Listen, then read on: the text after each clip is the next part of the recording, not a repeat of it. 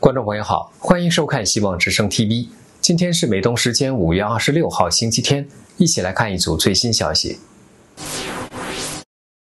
在联大国际法院发布模糊的停战令之后，以色列国防军继续推进拉法攻势。二十七号，以军加强了针对拉法的军事行动。军方表示，拉法是哈马斯的最后一个主要据点。根据国际法，以色列有权自卫，而法院也没能阻止这种军事行动的进程。二十七号当天，以色列国防军袭击了拉法西北部的哈马斯大院，造成了目前为止在拉法地区的最大规模打击。军方说，这次空袭造成两名哈马斯指挥官死亡，而哈马斯当局说，这起攻击造成三十五人死亡。白宫国家安全委员会发言人告诉《以色列时报》，美国了解有关拉法事件的报道，并正在收集更多资讯。以色列国防军表示。本次拉法空袭的目标只有哈马斯大院，原因是大院里聚集着恐怖组织的高级官员。以色列国防军在一份声明中说，这次袭击是根据国际法使用精确弹药，获取了哈马斯恐怖分子使用这个地区的情报，针对恐怖分子而进行的攻击。声明说，哈马斯约旦河西岸的总部指挥官拉比亚和另一名高级官员在拉法的这次空袭中丧生。军方表示。拉比亚管理约旦河西岸总部的所有军事阵地，参与了为恐怖目的转移资金的活动，以及在约旦河西岸的哈马斯定向袭击。拉比亚本人和另一名官员还在2001到2003年期间发动了多次致命攻击，导致以色列士兵死亡。军方说，他们注意到有关导弹袭击和大火造成附近巴勒斯坦人营地平民伤亡的报道。据说，这起事件正在进一步调查中。二十六号下午，哈马斯向以色列中部发射了八枚火箭弹，这是大约四个月以来最严重的袭击事件。公开消息显示，其中三枚导弹被以色列铁穹反导弹系统击落，另外五枚落在空旷地区。袭击掉落的弹片导致特拉维夫郊区的一栋房屋受到轻微损坏，两人受轻伤。在当天后不久，哈马斯安置在拉法的火箭发射器遭到摧毁。这个发射器在发射了八枚远程火箭弹之后被击溃，地点距离以色列军事行动地点约八百米。以军表示，哈马斯恐怖组织把他们的资产放置在民用设施和基础设施附近，同时利用加沙人民作为人体盾牌。以色列国防军发言人哈加里说：“当以军部队接近发射区域时，哈马斯从平民人群中发射了火箭。我们在很多哈马斯盘踞的地方都看到了这种做法。”哈马斯担心失去这些武器弹药和火箭，因此，当他看到以色列国防军部队接近时，就会在人群中开火。当天，以色列对外界公开了现场的视频，指控哈马斯当局的战争罪行为。在以哈人质协议谈判方面，两方缺乏显著进展。在有关五名女兵被绑架的视频曝光后，内塔尼亚胡政府宣布重启人质谈判，但双方仍然缺乏显著突破。目前为止仍然处于僵局。二十七号，以色列总理办公室发表声明，抨击哈马斯的无理要求，并再次强调应该根除哈马斯。声明说，虽然乙方一再给予谈判小组广泛的谈判授权，但哈马斯加沙领导人辛瓦尔仍然要求结束战争。如果以色列国防军现在从加沙地带撤军，那么哈马斯将能够一次又一次地重新实施十月七号的暴行。二十六号消息，俄国近期加强了针对欧洲的秘密破坏活动。美欧安全官员说，俄国军事情报部门格鲁乌是欧洲多地纵火攻击的幕后黑手，这是为了破坏欧洲对乌克兰的支持。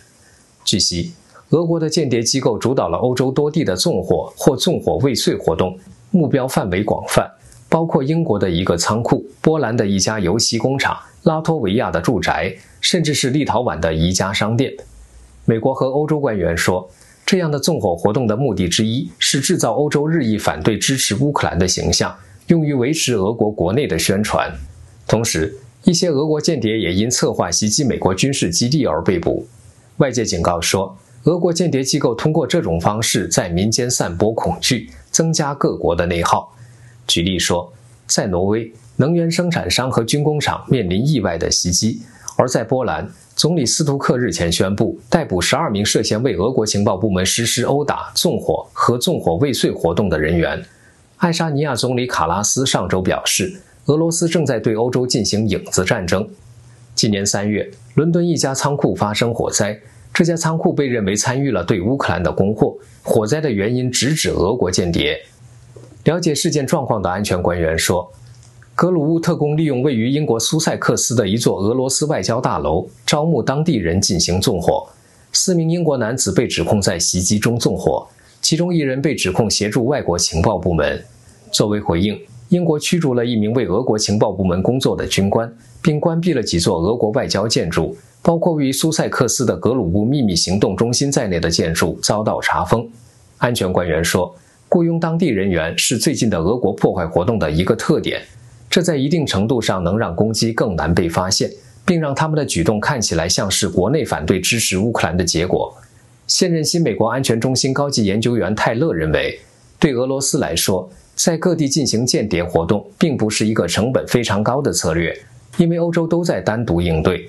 他们想把战争带到欧洲，但他们不想和北约发生战争，所以他们正在对欧洲进行所有常规攻击之外的勾当。前线方面，二十六号，俄罗斯军队在哈尔科夫市东北部的沃夫昌斯克附近继续进攻行动，但是没能在这个地区取得优势。也是在当天。乌克兰军队在哈尔科夫以北的利普特西重新夺回了俄军占领的阵地。在乌克兰国内，俄罗斯二十六号轰炸了哈尔科夫市的一家五金超市，当时建筑物内可能有两百多名购物者。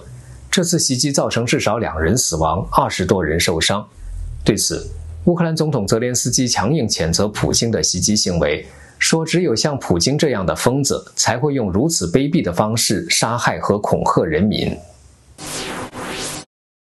为了补充萨德和爱国者系统的需要，韩国日前成功完成自主研发的远程地对空导弹系统的生产，这是韩国最新获得的重大成就。由于这个系统的开发已经完成，报告显示，远程地对空导弹可能会在明年投入生产，并在2028年准备好部署，作为韩国的新式防空和导弹防御系统。远程地对空导弹系统的目的是击落高度为50到60公里的来袭目标。而且满足所有军方技术标准，被认为能够同萨德和爱国者两种军事系统合用，适合作战。就在几天前，韩国政府发布新闻稿，强烈谴责朝鲜的火星十一 D 导弹发射，并说这是明显的挑衅行为，严重威胁朝鲜半岛的和平与稳定。英国媒体指出，去年在首尔举行的阅兵式上，韩国首次展示了远程地对空导弹。并把它视为国家发展对朝鲜导弹防御战略必不可少的武器。韩国也建设了一个军事采购机构来应对迫在眉睫的朝鲜威胁。上个月，韩国决定增购 SM-3，也被称为海上弹道导弹拦截项目。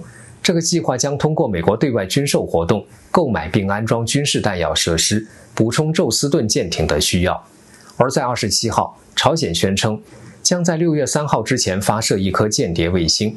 并就此事通知了日本。在这个过程中，北京政府被怀疑躲避由欧美颁布、联合国批准通过的制裁，对朝鲜秘密运送军事物资，以大力度支持朝鲜的生计。很多海外华人都在使用微信海外版 WeChat 和国内的亲朋好友联系。日前，微信更新了 WeChat 的隐私政策，有海外网友研究后表示背脊发凉。名为澳洲 Alex 老师的网友制作的视频在网络上流传。他说：“近来，很多海外华人在打开微信的一瞬间，就跳出一个对话框。Alex 仔细研究了 WeChat 的隐私政策，发现 WeChat 的规定，他有权利随时暂停或者是完全终止 WeChat 的各种服务。如果注册手机号码在美国、澳大利亚、英国、欧盟或者是新加坡，那么有额外的适用条款。首先。”使用 WeChat 所采用的账号名称、用户 ID 以及其他的识别资料，都是 WeChat 公司的财产。无论什么原因，账号被停用后，公司可以收回，重新使用这个账号。而这个账号由谁控制，则不得而知。条款里说。在遵守 WeChat 隐私协议的前提下，可以在全球各地与任何媒体，并通过任何方式复印、复制、托管、存储、处理、改写、修改、翻译、执行、发布与刊载您的内容。Alex 又查看了 WeChat 的隐私条款，里边说：“我们在我们公司集团内部共享您的个人信息。”这项隐私条款还规定，如果使用的是 WeChat，但好友中有国内的人使用国内版本的微信，那么两人互通信息的时候就要遵守国内微信的规矩。国内微信隐私保护指引规定，微信会记录你的步数信息、手机联系人信息、位置信息，还有在朋友圈上传的文字、照片、视频、评论、点赞等等信息。在使用微信的群聊功能时，群聊名称、群公告、群成员的昵称、群设置等等信息也都会存储在微信的服务器之中。Alex 说：“以前从来没有关注过这种条款的更新，尤其是隐私条款。”但是这次看完后，真是不看不知道，看了吓一跳，觉得后脊背发凉了。在海外社交平台 X 上，有网友说，微信就是用来收集客户信息的工具，在微信的世界里，所有人都在裸奔，毫无隐私可言。中国、日本和韩国领导人在二十七号举行四年多来的首次三边会议。在这之前，美国与东京和首尔两个亚太盟友国家建立了密切的合作关系。而在本次会议期间，中共政府试图以经济利益为筹码，继续和日韩两国接洽。不过，美国国家安全委员会前东亚主任、华盛顿战略与国际研究中心日本主席约翰斯通认为，新的谈判不会改变日本和韩国对中共当局行动和意图的重大担忧前景。对于这次会议，美国分析人士说。华盛顿没有理由担心三个亚洲国家恢复例行会议。斯坦福大学东亚政策专家史奈德说：“这次会面不会引起华盛顿警惕。三个国家在2008年开始定期会晤，但是在2019年以后就没有再举行过会议，被认为是习近平针对美国发起关税制裁的间接影响。”中共国务院总理李强和日本首相岸田文雄26号抵达首尔举行双边会面。韩国总统尹锡悦也设宴招待领导人。韩国总统办公室说，他们定于周一举行三边峰会，并计划发表联合声明。三个国家的总理都会参加会议。外界认为，日韩和中共在安全问题上存在无法解决的会议的重点是经济问题，而不是安全问题。华盛顿邮报报道，美国在亚太地区组建了国家军事联盟，用来对抗中共武力进攻的决心。目前。韩国、日本和中共的关系不断受到美国主导的脱钩行动的影响。在这种情况下，东京和首尔可能会向北京施压，要求他结束侵害人权的不公正行为，帮助遏制朝鲜的核武计划，并帮助限制朝鲜和俄罗斯之间日益增长的军事合作。习近平试图把电动车产品推动到日本和韩国的市场，消化中国的库存。新的做法仍然涉及倾销。已经增加了日韩对抵制中共不平等贸易活动的需求。感谢您收看今天的国际风云。如果您喜欢我们的节目，请点赞订阅，也请转发给更多的朋友。我们下次节目再会。